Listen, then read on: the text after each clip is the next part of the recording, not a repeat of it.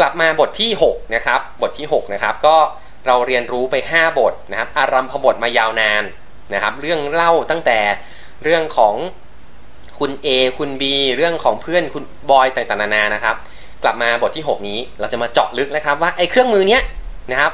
นะครับ ถ้าผู้เรียนเนี่ยมาถึงบทที่5นะครับมาถึงบทที่ 6 แล้วเนี่ยจะเห็นได้ว่า AI เนี่ยมันมีประโยชน์หลากหลายอย่างมากนะครับ ที่ให้ผมพูดอารัมพบท AI นะ1ครับมันง่าย ง่ายครับ2ครับ มันไม่ได้เอ่อสองครับคือมันสามารถสร้างแรงบันดาลใจ3ครับ มันช่วยแก้ปัญหา4ครับ มันช่วยต่อยอดสิ่งดีๆ ที่อยู่รอบตัวเราได้แล้วกันนะ บทที่ 6 นี้เราจะมาเรียนรู้ครับว่า AI หรือว่าเปลี่ยนจุดแข็งเป็นจุดแกร่งเนี่ยมันคืออะไรกันแน่นะครับ อะย้อนกลับไปที่นิยามของ AI นะครับ AI หรือว่า Appreciative Inquiry นะย่อสั้นๆว่า AI นะครับย่อมันจะคำศัพท์มันจะเหมือนกับ artificial intelligence นะครับ แต่ว่าอันนี้เป็นเเรียกว่าเป็น school of thought หนึ่งเป็นกระบวนการคิดประเภทหนึ่งนะครับ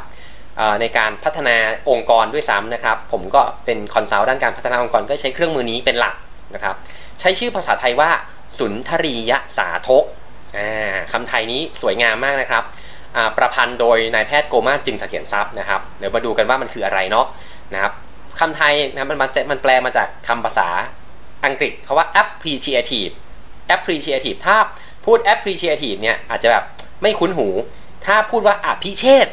อ๋อเนี่ยโอ้โหรู้สึกอภิเชษมากเลยคำไทยนะแต่มันไปพ้องกับคำว่า appreciative ครับมันแปลว่าความรู้สึกยินดี เห็นคุณค่ารู้สึกขอบคุณ รู้สึกดี รู้สึกมีความสุขรู้สึกประทับใจ รู้สึกอะไรก็ได้ที่มันรู้สึกดีในใจครับ ส่วน inquiry แปลว่าการค้นหา การสอบถาม การหาความจริง การหารายละเอียด การสืบค้น เอามาต่อกัน เอามาต่อกันครับ Appreciate Inquiry หรือ AI จึงหมายความว่า การค้นหารายละเอียดในสิ่งดีๆ ถึงดีที่สุด เรื่องที่มีความสุข เรื่องที่อยู่บนพื้นฐานความเชื่อที่ว่าในรอบๆตัวเราครับ มีสิ่งดีๆ ซ่อนอยู่รอบๆตัวเรา ไม่ว่าจะเป็นคนรอบๆตัว สัตว์พืชสิ่งของอารมณ์ความรู้สึก รวมไปถึงประสบการณ์ในอดีตนะครับ มีสิ่งดีๆ ซ่อนอยู่ครับ โดยเฉพาะอย่างยิ่งเรื่องของปัญหาปัญหาที่เรามองว่ามันดำมืด มันก็มีจุดขาวๆซ่อนอยู่ครับ บางคนเรียกว่า bright spot บางคนเรียกว่าหยิน บางคนเรียกว่าหยางอะไรก็เถอะนะครับ เนี่ยนะครับผมกำลังผูกจักรวาลหลายจักรวาลเข้าด้วยกันนะครับ เพียงแค่รู้จักวิธีการค้นหาสิ่งดีๆนั้นนำมาใช้งานนะครับ ถ้าพูดง่าย ๆ คือเอาประสบการณ์เชิงบวก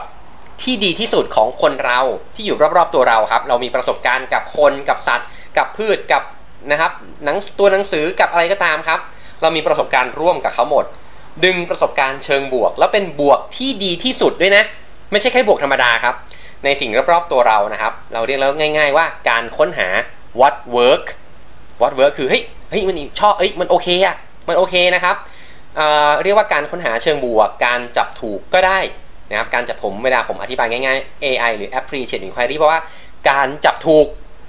นะครับประสบการณ์ในที่นี่หมายถึงอะไรบ้าง ความรู้สิ่งที่มันอยู่ในหัวนะครับ ความคิดสิ่งที่เราคิดอยู่คนอื่นคิดก็ตาม ทักษะความสามารถสิ่งที่เราลงมือทำผลงานที่เคยทำมาแล้วคือ สิ่งที่เราทำแล้วเกิดผลมาแล้วนะครับผลของสิ่งที่เราทำนะครับ ไม่ว่าจะเป็นตัวเราคนรอบข้างเราคนที่รู้จักบุคคลสำคัญนะอะไรก็ตามที่อยู่รอบๆตัวรอบๆโลกนี้ ดึงประสบการณ์เชิงบวกที่ดีที่สุดนำมาขยายผลได้หมดเรียกว่า AI อ่าผมตีให้เป็นภาพแล้วกันนะ จากตัวเราตัวเราก็จะมีคนใกล้ชิดเรา คนรู้จักเรา คนอื่นๆ ที่เราอาจจะไม่รู้จัก รวมไปถึง ใครก็ตามตัวอะไรก็ตามสิ่งไหนก็ตามเหตุการณ์เรื่องราวนิทรรมปรำปราอะไรก็ตาม